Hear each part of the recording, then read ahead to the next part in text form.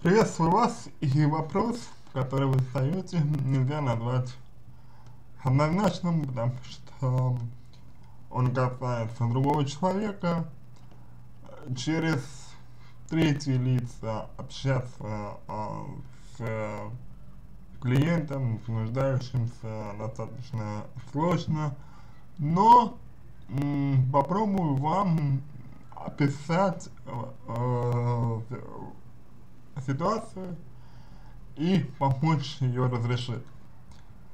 У девушки, э, вашей девушки, подобные отношения, конечно, может идти из детства. То есть вот ее родители так воспитали, что э, говорить о том, что нравится, нельзя. И здесь нету оснований э, полагать,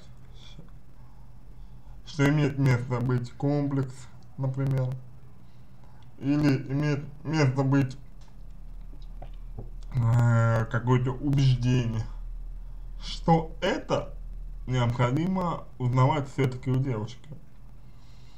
То есть понять, вот она хотела бы, она хотела бы выраж, выражать вам свое недовольство,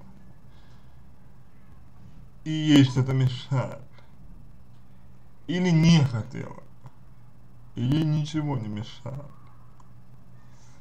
В первом случае, конечно, нужна помощь, человеку нужна помощь.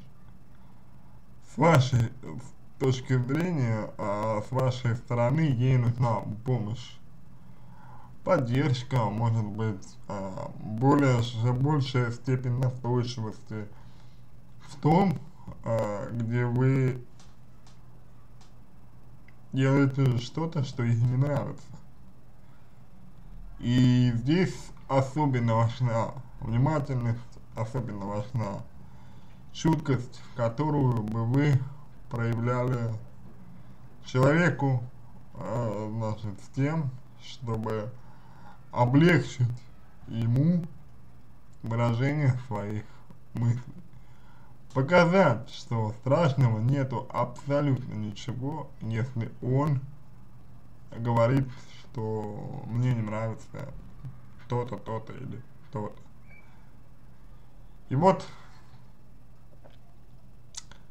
такая позиция, позиция связана с э, внимательностью, с участием, значит, э, в жизни девушки, э, с тем, чтобы быть направленным вам на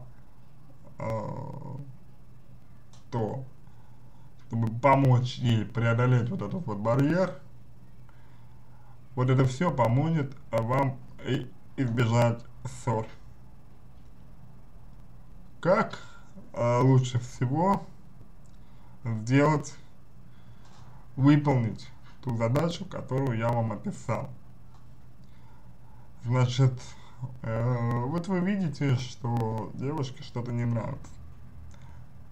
Постарайтесь настаивать на том, э, чтобы заострить внимание на данном обстоятельстве, чтобы заострить на нем внимание, чтобы э, ни о чем больше не говорить, пока не будет разрешен вот этот вот момент.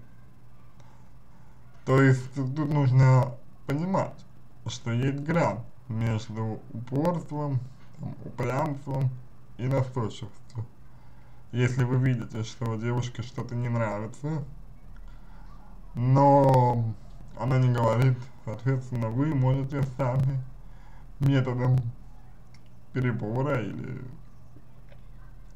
а, угадывания определить, а, значит, что именно ей не нравится, и показать, что вы в любом случае придете к тому, что выясните, что конкретно вызвало у нее негативные эмоции и устраните это.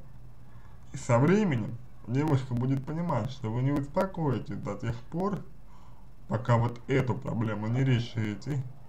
А раз вы не успокоитесь, значит можно сэкономить время и проблему в двухстороннем порядке решить.